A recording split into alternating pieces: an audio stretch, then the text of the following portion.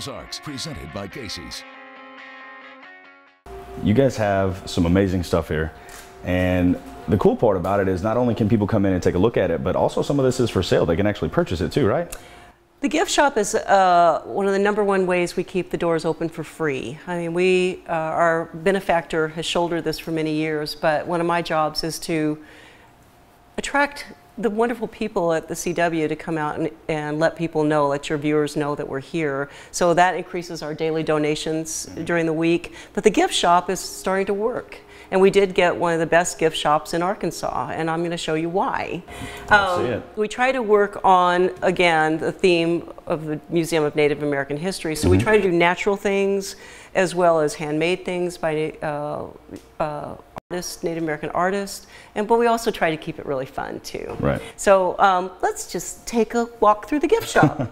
um, one of the things right that you're over here is that we this is a Navajo pottery collective. It takes me a month and a half to get them in. And uh, because they're all handmade, signed, come with certificates of authenticity.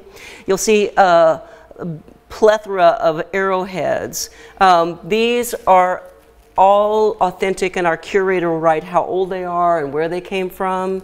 These are over three to 6,000 years old from the Sahara. But these, this is the fun part of here.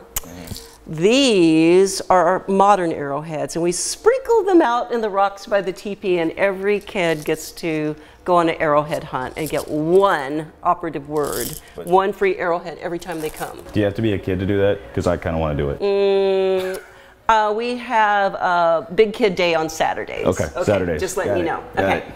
And then what's really different about the gift shop, people say, are these real? It's like, yes, they are. I mean, you're looking at uh, artifacts that are from 100 BC to 300 AD.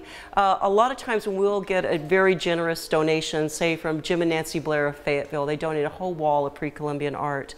That will free up some of our artifacts that we can put into this case to go to other collectors or museums.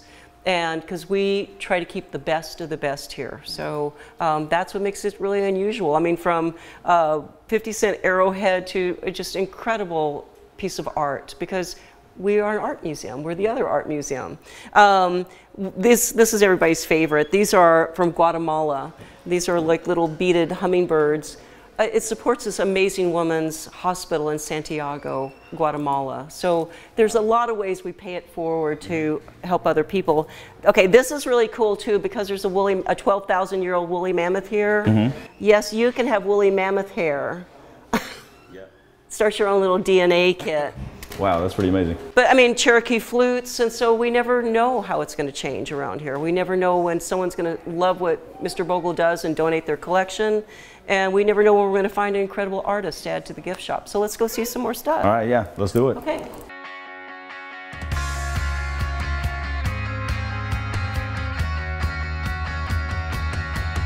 Do the Ozarks, presented by Casey's.